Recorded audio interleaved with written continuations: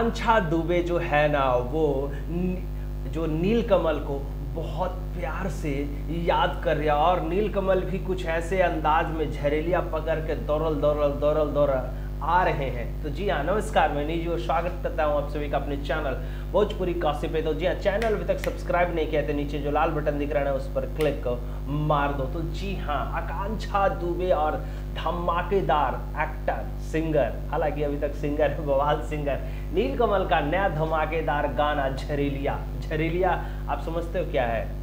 वो तीन चक्का वाला टेंपू होता है ना, बैटरिया, रिक्शा वाले घूर घूर घूर घूर चलेला चार्ज करेला, हर हर गली चौराहा पे मिलेला, ओकरे झरेलिया कहेला। हाँ झरेलिया कहेला, तोरा दने काका कहेला, हमरा दने टेंपू कहेला। आ ई बैटरी बैटरी रिक्शा ज़्यादा कहेला कि बैटरी रिक्शा चलेला।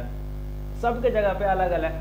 नाम क्या है, उसी को पकड़ के ना एकदम धुरधुरैले धुरधुरैले नीलकमल मेल लिखा गया पोस्टर पर, और जो वीडियो का थंबनेल है उस पर नीलकमल मेल लिखा गया। उसी को पकड़ कर एकदम फटाफट आकांक्षा दुबे के पास नीलकमल पहुँच रहे हैं और फ़ोन पर वीडियो मतलब फ़ोन वाला गाना है। जारी किया गया है वर्ल्ड रिकॉर्ड्स जी हाँ वर्ल्ड रिकॉर्ड्स भोजपुरी का ऑफिशियली यूट्यूब चैनल पर नीलकमल और आकांक्षा दुबे का जो है झरेलिया झरेलिया।